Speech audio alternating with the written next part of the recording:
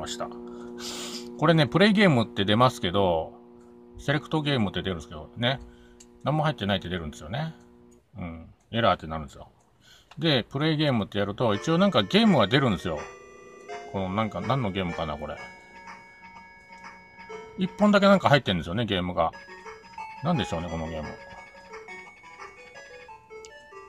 ん？ちょっと待って、何のゲームだったか今、タイトル画面が出なかったから分かんなかった。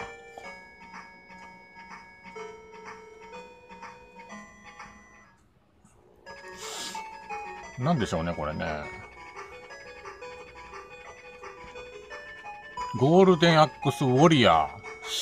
ええー、これ知らないぞ。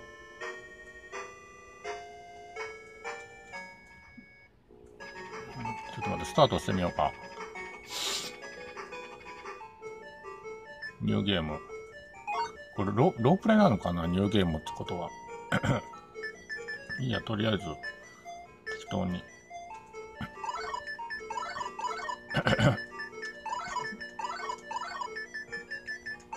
シロックでいいや。でも英語なんですよね。あ、ロープレイですね、これ。ゴールデンアックスのロープレイですね。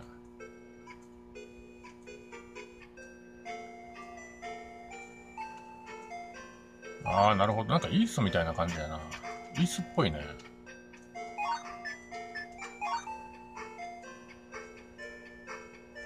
これ話しかけられないのか、これ。ああ。かけられるけど全部英語か。わけわかんないな、英語だったら。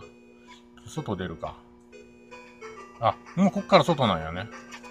こんなゲームあったんや、ゴールデンアックスの。なんかゼルダっぽいというか、エイスというよりゼゼルダですね、完全にこれ。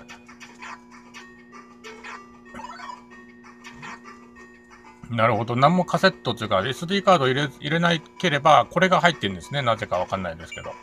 これ一本だけゲームが入ってるんですね。なるほどね。なんかブーって言ってますけど、気にしないでくださいね。これはしょうがないんで、本当に。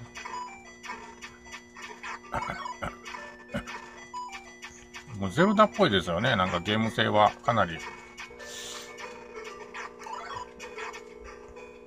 これ入れないのかなこれ。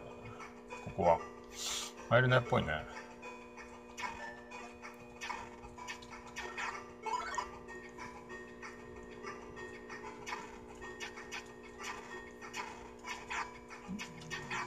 ゼルダですよ、完全にこれはもう。ゴールデンアックスのゼルダって感じで。